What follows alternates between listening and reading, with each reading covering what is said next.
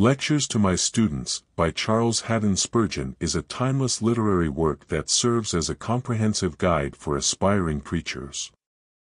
Originally delivered as lectures to students at the Pastor's College, the book offers profound insights into the art and science of preaching.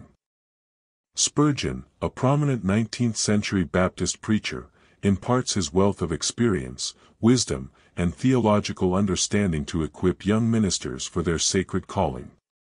One of the notable strengths of Spurgeon's work is his emphasis on the spiritual foundation of preaching.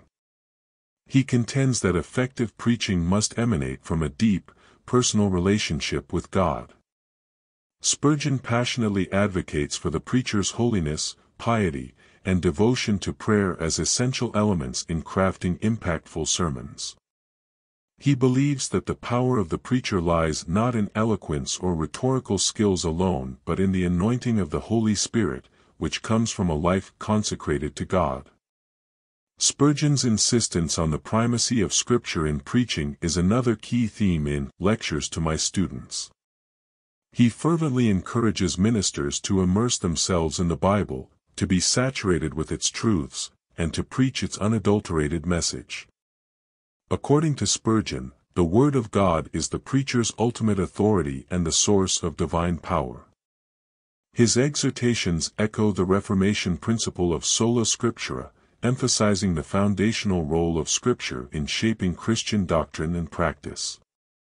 The book also addresses the practical aspects of preaching, offering valuable advice on sermon construction and delivery. Spurgeon advocates for clarity, simplicity, and relevance in communication, urging preachers to adapt their language to the understanding of their audience. He emphasizes the importance of knowing one's congregation and tailoring the message to meet their spiritual needs. Spurgeon's practical insights are grounded in a keen awareness of the cultural and social context in which preaching takes place, making his advice both timeless and relevant for preachers across generations. Spurgeon's wit and humor are evident throughout the book, adding a touch of warmth to his earnest exhortations. He encourages preachers to avoid dry, monotonous delivery and to engage their listeners with lively, passionate communication.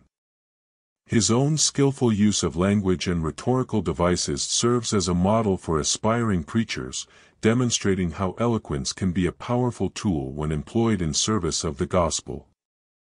While Lectures to My Students primarily targets aspiring preachers, its principles extend beyond the pulpit. Spurgeon's teachings on character, humility, and diligence are universally applicable to anyone engaged in the ministry of the Word. The book challenges readers to cultivate a humble spirit, recognizing the solemn responsibility of proclaiming divine truths. Spurgeon's emphasis on a strong work ethic and dedication serves as a timeless reminder that effective ministry requires both spiritual fervor and disciplined effort.